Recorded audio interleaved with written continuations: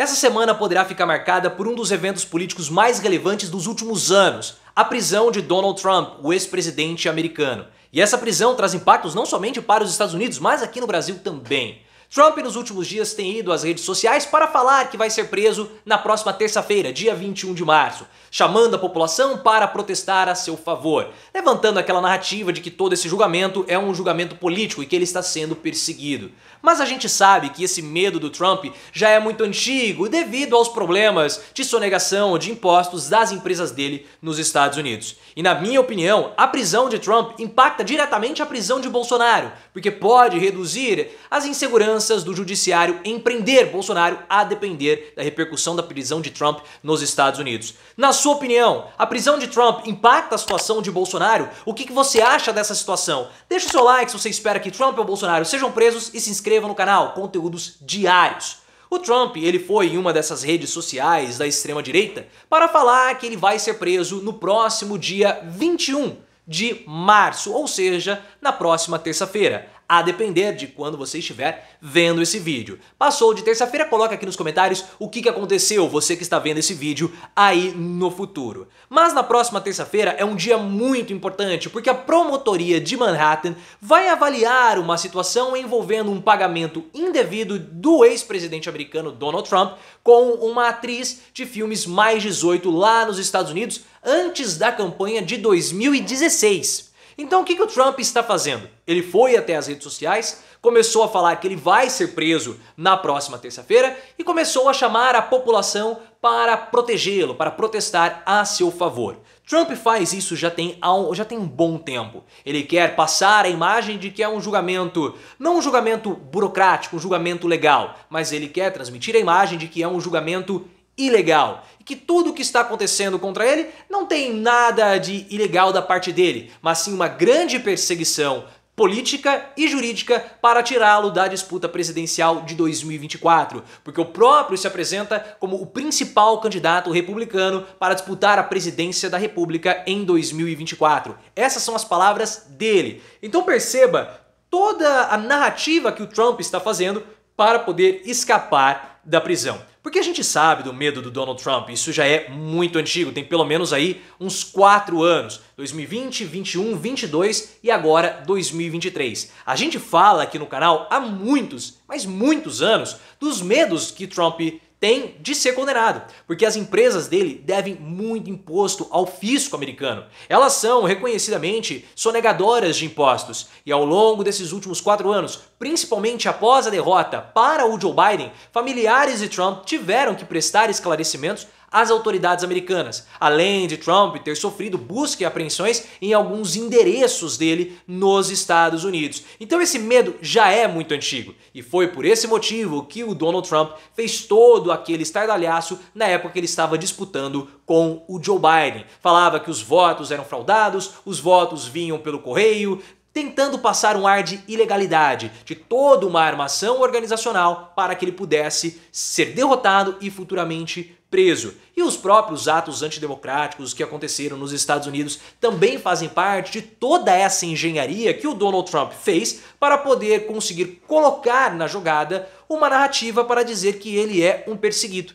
que os julgamentos são julgamentos injustos e aí o que acontece? Tudo é para prendê-lo, para tirá-lo da disputa. Essa é a estratégia do Donald Trump, que está sendo seguida à risca, pessoal, pelo próprio Bolsonaro aqui no Brasil. Porque Bolsonaro tem mimetizado praticamente à risca todas as estratégias que foram adotadas pelo Donald Trump lá nos Estados Unidos. E eu vejo, pelo menos essa é a minha opinião, que a prisão do Donald Trump nos Estados Unidos, a depender da repercussão, impacta diretamente no Bolsonaro aqui também no Brasil. Tudo bem que o Bolsonaro está nos Estados Unidos, mas vai impactar as nossas autoridades aqui. Por isso que nesse momento o Bolsonaro ele deve estar abraçado a uma privada lá em Orlando vestido de pateta, ou seja, vestido como ele próprio é, chorando desesperado, muito tenso até a próxima terça-feira, quando vai acontecer esse grande evento jurídico a respeito do Donald Trump. E por que, que eu vejo que isso pode trazer impactos? Porque o grande trunfo que o Bolsonaro possui hoje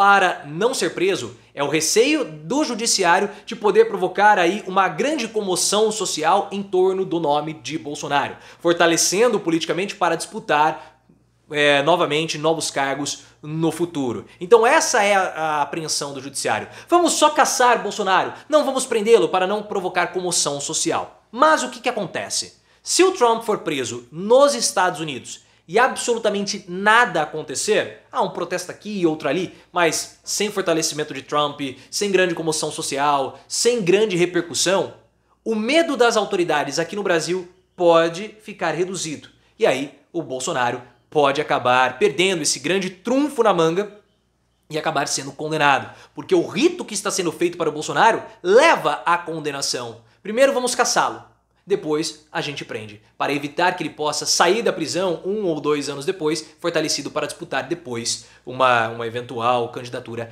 à presidência da República. Mas não vamos falar nada disso para não, não, não parecer que nós estamos perseguindo o Bolsonaro. Mas eu quero que você coloque aqui nos comentários a sua percepção. Trump preso impacta Bolsonaro aqui no Brasil? Coloque nos comentários e se inscreva no canal. Esse medo do Bolsonaro, ele já é muito, mas muito conhecido, pessoal. Tanto é, o Bolsonaro tem tanto medo de ser preso, e a gente fala isso aqui no canal há muito, mas muito tempo também. Logo, praticamente depois, que começaram a circular essas informações do Donald Trump e o medo dele de ser preso nos Estados Unidos. O medo do Bolsonaro é tão grande que ele abandonou o mandato. O Bolsonaro ele não termina o mandato dele como presidente no Brasil. Faltando dois dias, dois dias praticamente, né, para a virada do ano, o Bolsonaro fugiu para os Estados Unidos. Tudo bem que formalmente ele ainda era o presidente da República, mas em termos práticos não. Tanto que a mensagem de fim de ano, de 2022 para 2023, foi feita pelo Mourão. E o Bolsonaro, ele não teria nenhuma pretensão de voltar para o Brasil. Só que acabaram acontecendo alguns eventos subsequentes, como os atos antidemocráticos, outros problemas, cartão corporativo e o caso das joias, que começaram a forçar o Bolsonaro a voltar para o Brasil. O Bolsonaro está falando que vai voltar agora no mês de abril. Não era a pretensão inicial dele, mas ele tem que voltar por questão ele pode sofrer uma prisão cautelar. Já explicamos, tem vídeo no canal falando, vai ficar aqui no card para você entender essa prisão cautelar do Bolsonaro. E foi todo esse medo do Bolsonaro de ser preso que provocou ele a repetir a mesma estratégia do Donald Trump, ipsis literis. Com exceção da fuga do Bolsonaro para um país exterior, que o Trump não fez, todo o processo, desde a campanha até a derrota, foi o mesmo. O que Bolsonaro fez? Bolsonaro falou que, olha, todo sistema é um sistema fraudulento. Ah, é um sistema para fazer com que eu seja derrotado. Não era golpe, era só estratégia, a mesma estratégia do Trump. Porque o Trump não teria condição alguma de dar golpe nos Estados Unidos, da mesma forma que o Bolsonaro não teria condição alguma de dar golpe aqui no Brasil. E aí teve a manifestação. Ele falou assim: Olha, eu tenho o povo em minhas mãos. Eu posso chamar o povo para protestar a meu favor. A mesma coisa que o Donald Trump fez nos Estados Unidos. Fraude, protestos, e aí a narrativa do perseguido. Tanto que na semana anterior, quando o Bolsonaro confessou, admitiu que será caçado, ele falou assim: olha, se eu for preso vai ser por uma arbitrariedade da justiça brasileira. Ou seja, eu não tenho nenhum problema de corrupção. Ele falou: se eu for preso vai ser por uma arbitrariedade. O que ele está querendo dizer que ele vai ser preso injustamente, da mesma forma que o Donald Trump está fazendo lá nos Estados Unidos. É a mesma retórica de perseguição. Só que nós tivemos uma informação da Veja e isso vai ser um vídeo futuro, então ative as notificações do canal, clique no sininho para que você seja notificado que o Bolsonaro disse ao Valdemar Costa Neto que o pior para ele ainda não chegou.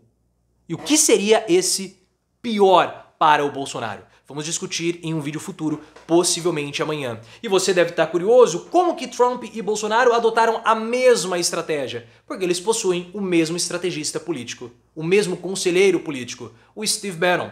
Steve Bannon foi um produtor de Hollywood, produziu aquela série Seinfeld, tá, que eu acredito que você deve, deve conhecer, e depois ele entrou para a política para ser um consultor de candidaturas de extrema direita. Foi o consultor vitorioso de Trump, foi o consultor vitorioso de Bolsonaro, e se você quiser entender melhor os métodos do Steve Bannon e toda a ascensão dele, leia o livro Os Engenheiros do Caos, do Giuliano De Empoli. E depois que houve a vitória do Trump e a vitória do Bolsonaro, o Bannon se distanciou, mas depois ele voltou, se aproximou dos dois e cunhou essa estratégia de fraude, utilização das redes sociais para propagação de narrativas, que o Bannon sabe fazer isso e faz muito bem e instruiu todos os filhos do Bolsonaro. Bannon também que tem problemas com a justiça americana, já foi para a delegacia, prestou, passou um tempo lá preso, saiu e possivelmente será preso de novo. Então ele é o elo de ligação, a cabeça por trás dessas duas estratégias, se você tiver curiosidade para entender por que que Bannon, por que Trump e Bolsonaro possuem a mesma forma de atuar. É por causa do Steve Bannon. Esse vai ser uma semana, essa é uma semana decisiva para é, o futuro político, jurídico de Bolsonaro. Vamos observar e, claro, faremos toda a cobertura aqui no canal.